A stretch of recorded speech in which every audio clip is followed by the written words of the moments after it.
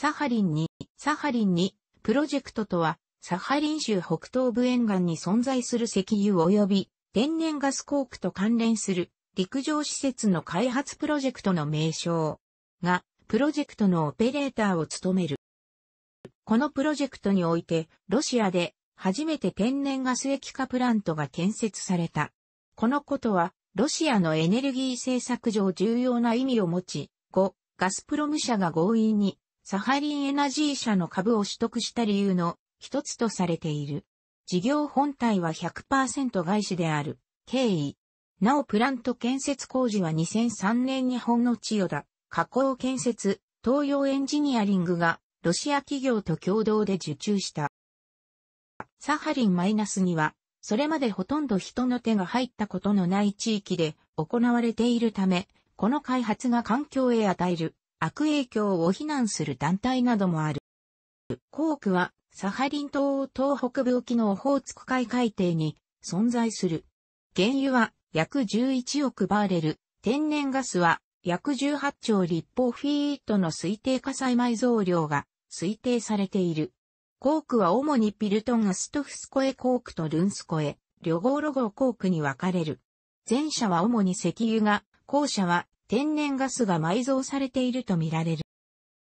サハリン -2 プロジェクトのコークは下記。ピルトンアストフスコエエコークでは、モリクパック、マリークパックという洋上で石油やガスを掘削、生産するプラットフォーム、可動式掘削装置が稼働している。モリクパックはもともとカナダ北極圏防法都会での氷海石油探査用に石川島播磨重工業が建造したものであり、カナダから移送され1998年9月サハリン島アストフコーク海岸から 16km の位置に置けされた。モリクパックの生産能力は原油日量9万バレル、ガス170万立方メートルである。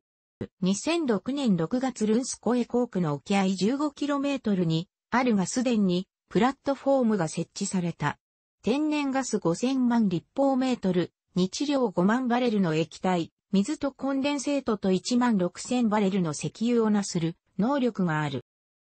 2007年7月、ピルトン・アストフスコエ油田の沖合 12km にあるピルトン地区に PA、B プラットフォームが設置された。PAB の生産量は原油日量7万バレル、ガス280万立方メートルである。陸上処理施設は、サハリン島北東部内陸 7km のノグリキ地区にあり、ルンスコエとピルトン・アストフスコエからの天然ガス、コンデンセートを処理し、サハリン南部アニワ湾、アニワ湾にある天然ガス液化プラントにパイプライン輸送するための施設である。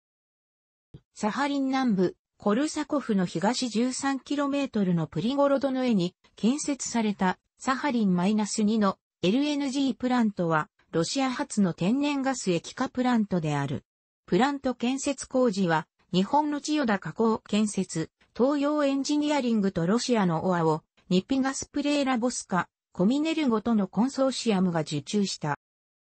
主な設備など、サハリン島、カラフト周辺に豊富な化石燃料資源が存在することは早くから予想されていた。その中で1991年にソビエト連邦政府はサハリン北東部沖のピルトンアストフスコエ航空及びルンスコエ、リョゴーロ号航空の2交渉の開発を国際入札を用いることを発表した。この入札には複数の会社が手を挙げた。1994年にロイヤルダッチシェルと三井物産、三菱商事の3社が合同でサハリンエナジー社を設立し、ロシア政府と生産物分与協定 PSA を締結した。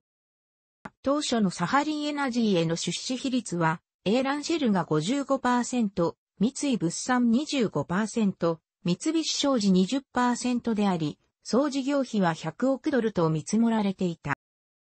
1999年には第1フェーズ原油生産が行われ、さらに2001年に全体開発計画がロシア政府によって承認された。2008年中の本格稼働を目指し、最終的には日量18万バレルの原油生産、天然ガス産出量は LNG 換算で年間960万トンを見込んでいた。これは日本の総輸入量のそれぞれ4%、18%に相当する。開発計画は順調に進行し、1997年にはピルトン・アストフスコエコークの第一段階、開発計画が承認された。しかし、環境対策を求められたことで、開発費用が増大し、2005年7月14日に、サハリンエナジーは総事業費が当初の100億ドルから200億ドルに倍増すると発表した。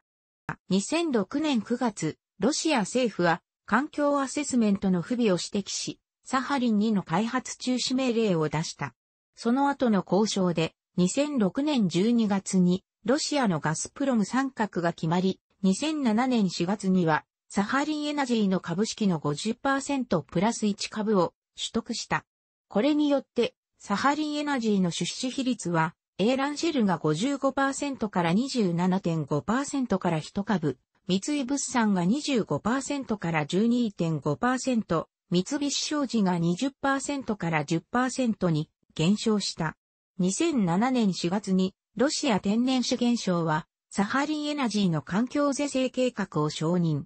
2007年10月には1年以内に工事を完了させることで合意し、開発中止の危機は免れた。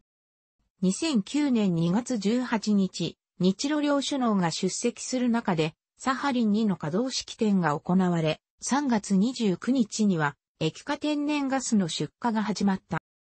楽しくご覧になりましたら、購読と良いです。クリックしてください。